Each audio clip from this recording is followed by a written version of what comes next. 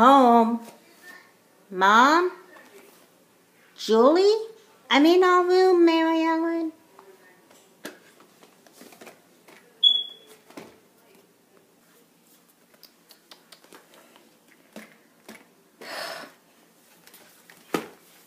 Hey. Hi. What's wrong? Nothing. Don't tell me nothing. I know you well enough to know that you flop yourself on the bed like that when something's bothering you. So you might as well tell me what what's bothering you because I'm not going to shut up until until you tell me. Well, then if I tell you, will you shut up? Um, I might. What I said was a figure of speech. okay, you caught me. So tell me what's going on. Did something happen when you were at Joss's house? Yeah, something did happen. Well, what happened? Joss and I got into a fight. Over what? This kid in our class. She just came in our class today and Joss thinks she's stuck up, but I want to be her friend.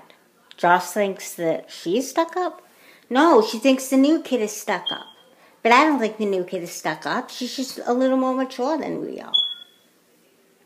Oh, so what exactly did you guys say each other about this?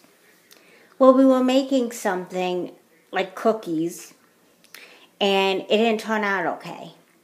So I said to Joss, hey, maybe we should give them to a dog. They have sharp teeth or a wolf. And then Joss is like, maybe we should give it to snobs like so and so. And I was like, so and so isn't a snob. And then we, next thing I know, we're fighting. And I don't, I don't really want to go into details. It seems to me like Joss is like judging this girl before she meets her. You're darn right about that. But, um, Joss was like, So you think I'm a baby for saying that? And I was like, Well, you said it, not me. And I regret that. I see. Well, why don't you call Joss and invite her over? I'm sure you guys could work it out. Obviously, you don't know Joss very well. I happen to know her very well because she's our neighbor, and I was here before you came to live here. I know that. You don't have to keep reminding me of that. I'm sorry. I'm just trying to make a point. I'll just wait until mom gets home. They'll have a long wait. She won't be home until midnight. I just got off the phone with her. Of course. Call Joss. I'll even give you guys privacy. Fine. Hey, be the bigger person, okay? Okay.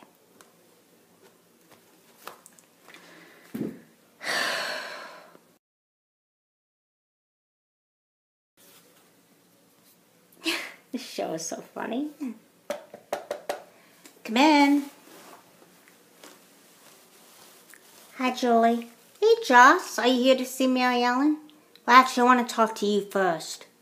Oh, okay, go ahead. Have a seat. But I really think you should be talking to Mary Ellen. Didn't she call you? Yes, she did.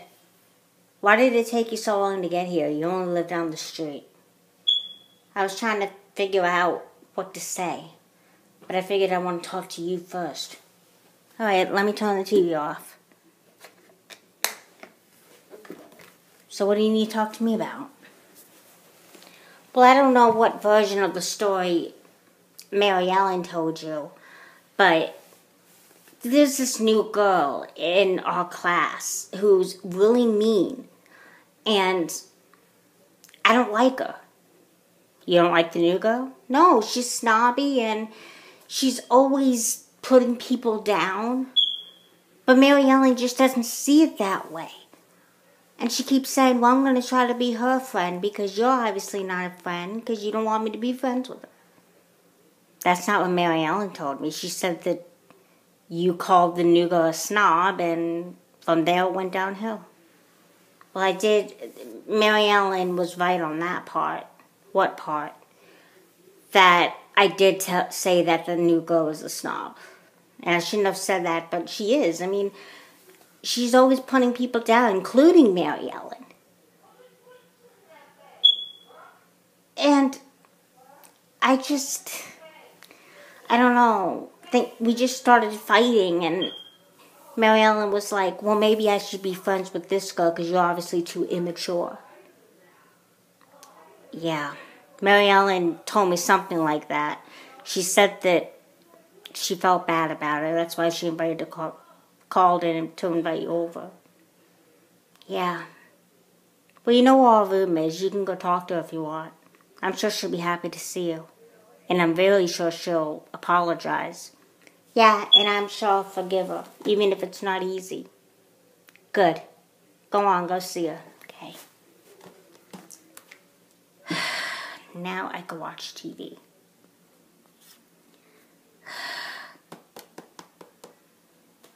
Man. Hey. Hey.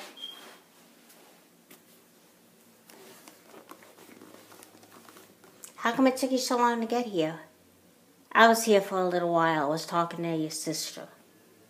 You were talking to Julie? Why? I need to get things off my chest and I want to talk to you.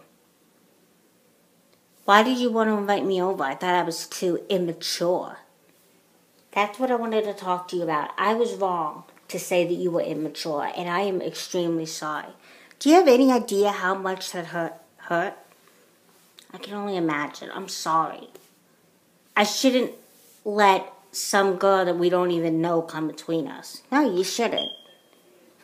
But I'm glad you're apologizing. It shows me that you do want to be, be friends with me again. I didn't even know we were never not friends. It's just, it's it's okay. I forgive you, but you didn't have to say I was a baby. I know. I really am sorry. I gotta realize that I have to concentrate on people who are nice, especially people that I've known for a while. I gotta pay attention to those people, not somebody who I don't know who's mean, but I think is cool. Being mean to people is never cool. You're absolutely right about that. It isn't cool. And I'm really sorry. Forget it. Huh? Forget about it. It's all ancient history now. You mean you forgive me? I forgive you. I know how it is to want to be liked by somebody even if they don't like you and you, you try so hard to get them to like you. I've gone through it myself. Yeah. But I really am sorry for my attitude. Don't worry about it. Thanks for calling me and telling me to come over. Well, thank you for answering, and thank you for not hanging up on me. no problem. Well, look, do you want to stay for lunch? I'd love to. Great. I'll go ask Julie if it's okay. Okay, stay here, and you can play on the computer if you want. Thanks. I think things will be okay.